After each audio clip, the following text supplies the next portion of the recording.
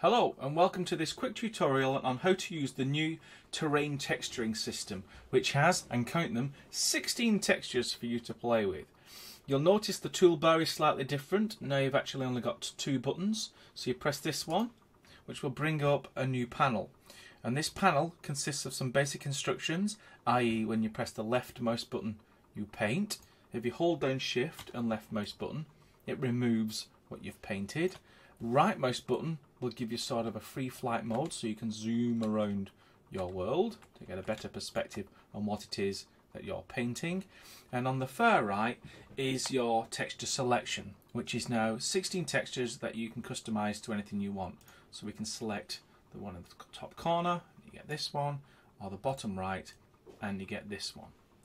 And you can customize any of these textures by simply right clicking. So if we right click on this rock, it brings up a new folder that's been created. It's a new folder called Terrain Bank Texture Source and we've provided a lot of textures for you to start with but you can add your own into this making sure that it's say a PNG format of at least 10,024 by 10,024 pixels and then you can use that as one of your 16 textures to paint under the terrain. So just for effect I'm going to pick this one which is a nice yellow brick and you'll notice it immediately updates it on the texture plate here but also reflects it within the scene. And so you can paint your newly selected texture.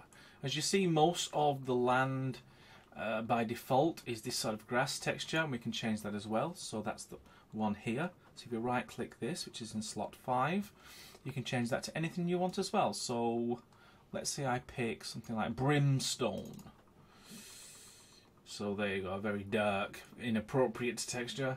But you can see you can change the textures to pretty much anything you want. Now I want to introduce you to something which is called the uh, texture blending feature.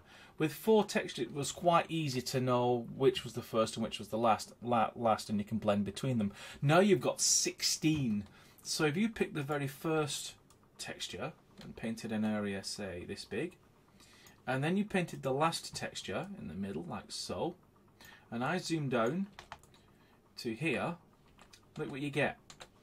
You've got the first texture and the last texture, and then the other 14 textures in a band between them. Now, this technique allows you to have nice gradiences between one texture and another. And this tutorial will quickly show you how to control that effect. For example, I don't like that banding, I just want this grey texture and the yellow brick texture. Well, you can do that. You just go into the texture tool again. As you can see, you've got your grey here. What if I change this texture, the second slot, and change that to the yellow brick? And then what I can do is again, just as before, paint this whole thing first texture, and then when I paint the second one, eh, voila.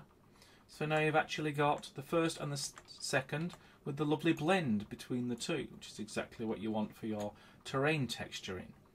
So that's how you actually use this. You pick a series of textures that you want to go from one end of the spectrum to the other and then you can allow your blending between them. And with 16 you've got a lot of choice. Typically you would have the idea that the first one is the lowest.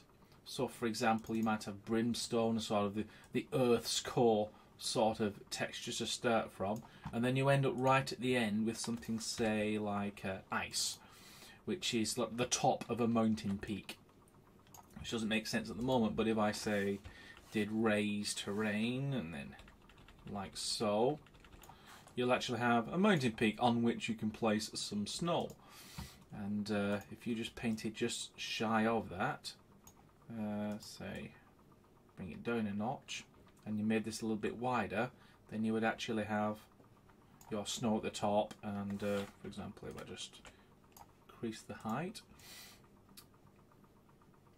You could basically create a, um, a slope going up to the mountain and then you could start off in the brimstone areas and then slowly stepping up to this and then a little bit higher and a little bit higher still and so on and so forth until you get to the mountain peak. Obviously this is absolutely terrible but this is only because I've had about two minutes working on it uh, and it's completely horrendous. Remember, nature has had millions of years to work on landscape formations and does a far better job of looking realistic. This is as unrealistic as you can get, but you get the idea of why the uh, the texture blending is put in such a way. Now, a couple of other changes from the uh, earlier version, the first version of the terrain painting system. The grass has now been decoupled, so you can paint grass on any texture. So it doesn't replace the underlying text, terrain texture with the sort of single grass texture. You can basically throw grass over anything you want. I could throw grass on the floor and the mountains and even the very top if I wanted to. Like so. I, I hesitate to run test game on this because it'll probably look pretty, pretty crazy.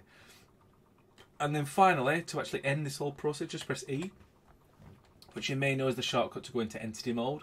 And then you can press the grass one or you can press the regular paint one to get back into the mold and it's pretty simple. It's as simple as that, in fact. Now, if I press E and then go to test game, which I said I wouldn't do, but I'm doing it anyway, I'm going to show you how this custom terrain texture plate, which you've now created, works with everything else. Because remember, you still have all the default texture sets that you had before. It's now you can actually create your own custom textures for your terrain. So we'll have a look at that. So if you remember, we started by painting a lot of brimstone, and here's our absolutely crazy lumpy mountain. But you can see lots and lots of textures for you to play with. But what I want to show you is, if we go into world settings, terrain type, you notice what's set here? Custom. That means we've been we've changed the texture plate, we've customized it, and so it knows that and it marks it as custom. But you can still choose all the other terrain sets. Let's say we wanted to go back to what you would call the old default, which is lush. It's as before. So backwards compatibility is maintained. But let's say um, you say, oh, I don't like that, I want to go back to my custom one. Just set it back, and then you can go back to the custom one and continue editing it and changing it to suit your uh, level. And the good news is, this custom texture that you're creating is per level. So it will save this particular arrangement of 16 textures in the order you want for you painting your terrain just for this level. You can have a completely different arrangement of texture plate for level 2, level 3, level 4, so you've got maximum capability and you not have to resort to using just four fixed textures in a fixed order within the texture sets that were formerly provided. So hopefully that gives you an idea of the general principle of the new texture terrain system. There was a question that somebody asked where they said, if I have a white circle, like so, and then I try and paint over it, you end up with a little ghost image like that. Well, that's part of the um, the blending process, so you can sort of paint by degree. If you really want to get rid of it, just hold down Shift and then left click, and it just gets rid of it for you. So that's uh, you can call that a little trick but it's really just about if you really want to erase stuff, just hold down Shift and it will erase stuff for you. So uh, I'm expecting people to have a lot of time spur to create much more interesting mountains than this. And uh, in fact, I've actually made a start for you. If you go to a new file I've created called default.fpm, this is sort of a, uh, a starting point for the landscapes that you'll ultimately be able to make with not only this terrain system but other features that are going to come later on in the year.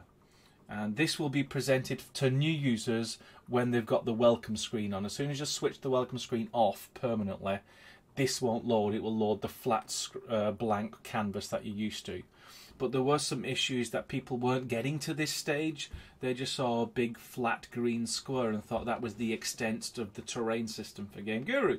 So we wanted to just change that perception a little bit. So now as you can see, you've got your undulating hills, you've got your water, you've got your vegetation, you've got your slight fog in the distance, and so on and so forth. And what you'll find is that this level will continue to be improved as we, for example, as you can see, all the all the landscape in the distance is just the green grass. Now we've got 16 textures. We can really go to town on making a lot of fidelity. Uh, so the high points are cold and rocky, mid points lush and verdant, and then the low points sandy and rocky. Eventually get into subaquatic and go into all that really cool stuff. So there's a lot of potential now with these 16 textures in the terrain system and I hope this brief introduction showed you how to get the best out of it at this early stage. So until my next video on the terrain texture system, I shall say goodbye.